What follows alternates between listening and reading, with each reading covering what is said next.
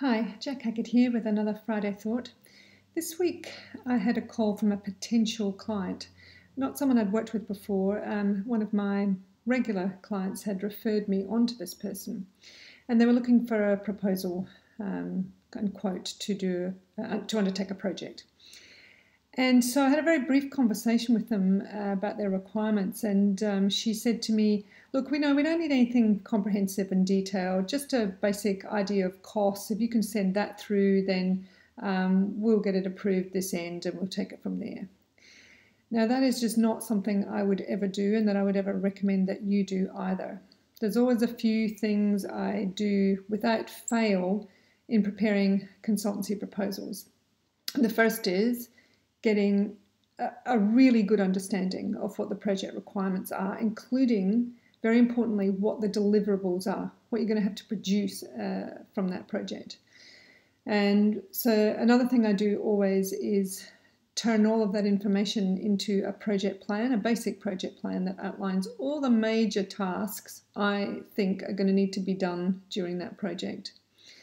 And then I can estimate the time, the number of consulting days that I think those those major tasks tasks are going to take.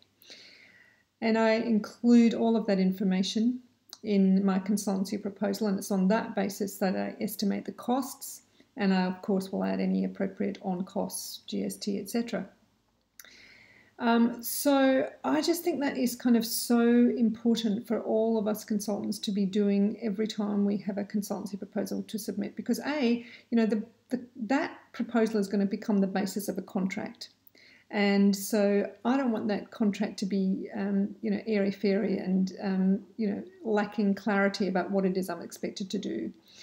Um, secondly, unless I actually do that map the project out in a bit of sufficient detail, I have no idea how to estimate the costs. So it could be an overestimate, could be an underestimate, you know, doesn't, you know, either way.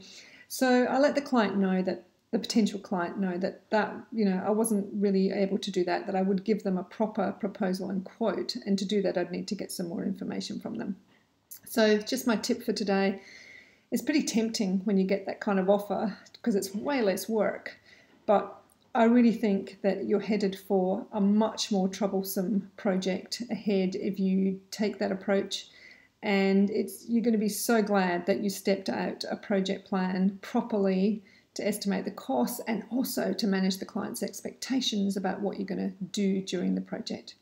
Hope that's helpful. And if you actually need any more uh, comprehensive information about how to prepare consultancy proposals, I've got a free cheat sheet on my website and I've put the link to that it's the first comment in the comments box below, and you might find that helpful. Have a great Friday.